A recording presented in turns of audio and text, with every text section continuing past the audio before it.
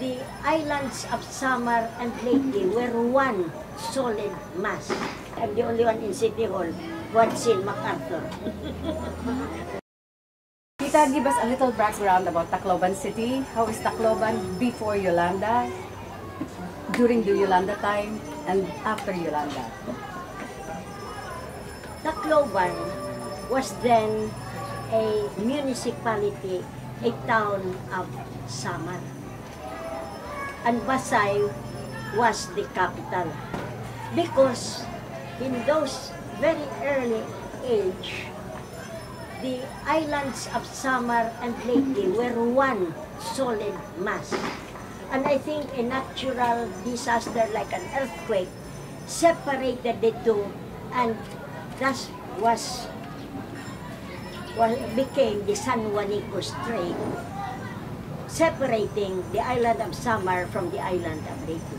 And since Leyte, uh, Tacloban was on this side, so it became a, a, a municipality in the, or a town in Leyte, on the island of Leyte.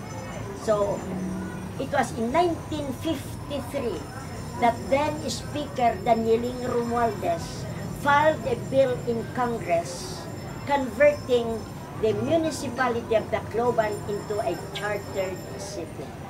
But it was during the time of Mayor Alfred Romualdez, barely one year that he was a mayor, that Tacloban from a chartered city became a highly urbanized city. And a highly urbanized city meant that we were no longer under the political jurisdiction of the prov- provincial government of Leyte. That all the ordinances of the, of the Sangguniang Panlungsod did not have to be approved by the Sangguniang Panlalawigan. And that funds from the national government would no longer pass through the provincial government and given to us because we found out in the years 2001 to 2005 we were getting an annual income of 90 million from the national government but in those five years we barely got 27.5 million where did the rest go it was not given by the provincial government of Leyte to the city of Tacloban. Now, even our mayor, before he can travel abroad, he has to ask the permission and the approval of the provincial governor. And so, the uh, city government of Tacloban is a chartered city, wrote to then President Gloria Macapagal Arroyo, who approved our request. But then, you cannot have a an, an HUC, a highly urbanized city, unless the people in a plebiscite will vote for it. And the people of Tacloban, majority of the people of Tacloban voted overwhelmingly to make Tacloban a highly urbanized city. Now, it is not just highly urbanized. I could say it is becoming highly, highly urbanized.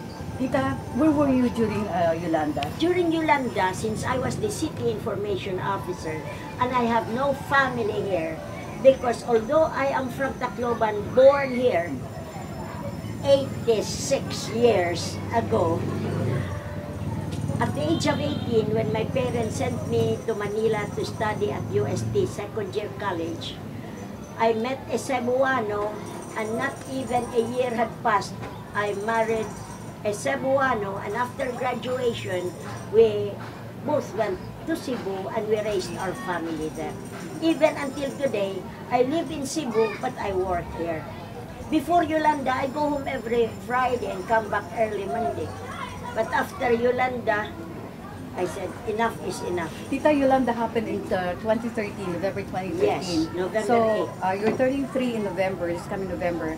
Ano na po ang improvement? Ano na po ang uh, nakapag-move on na ba ang uh, Tacloban after Yolanda? I will quote Al Gore, the former U.S. Vice President.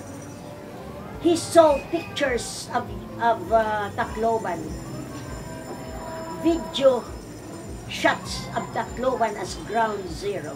When he came here last month, he said to himself, this is a miracle. I cannot believe that what I saw two and a half years ago is what I am seeing now. The improvement is terrific.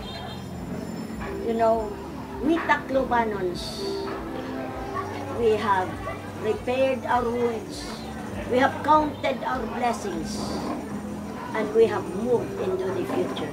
Because Taclobanons are not only resilient, they are not only survivors, they are resilient and they have prevailed. We have prevailed. Ah, ano yung pinagmamalaki po ng Tacloban? It's people. You know, in Waray, we are called maisog. In Tagalog, Matatama. matatapang. Because the Waray will not tolerate any injustice that is done to any of its. They will not, they will not uh, uh, tolerate any abuses against our fellow Warays. Any case of injustice done to us.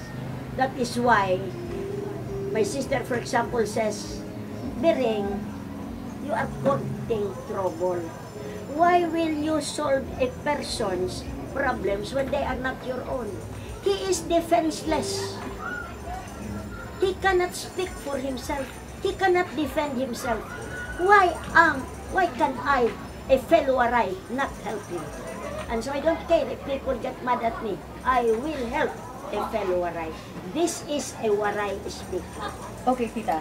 Ah, ano po yung mga landmarks ng Tacloban that you can share with us na What para puntahan ng mga turista? What I would say is, Tacloban is the center of the region.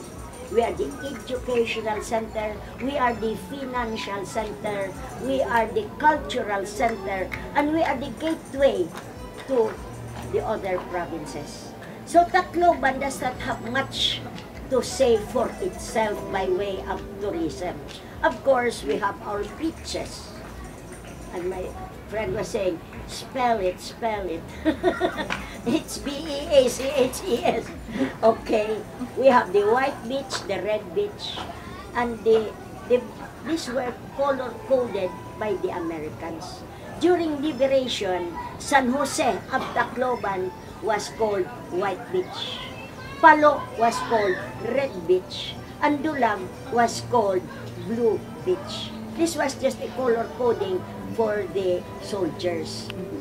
But our White Beach is terrific. Pero meron pa rin, aside from the beaches that you have, marami pa rin kayong attraction, parang yung... ah, Of course, the MacArthur Landing. Opo. Sabihin nyo lahat. But sabihin that lahat. is not really Tacloban anymore. That's Palo. Okay. But MacArthur's Landing was just coincidentally Palo because he had to be in the middle of White Beach and Blue Beach. But his target was Tacloban.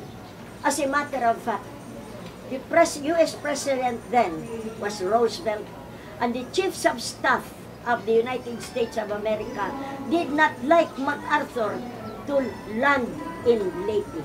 They wanted to go to Formosa first and then attack Tokyo. But General MacArthur, who had been a first lieutenant in Leyte soon after his graduation from West Point, said, Tacloban is it. If you don't like, then I will not be commander-in-chief. You better listen to me. And they all listened to him, and they were able to make Tacloban the target of the Leyte landing. So, Palo was just, it's just a coincidence that Palo is in red. Uh, red Beach is in Palo. And he had to land in the center of white and blue.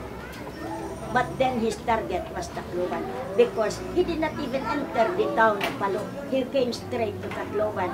And fortunately, I am one, I think I'm the only one in City Hall who had seen MacArthur.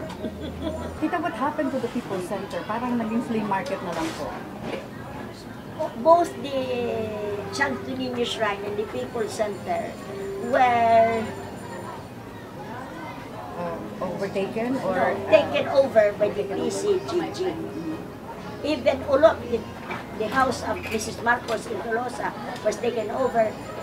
And even the toilet bowl was taken away.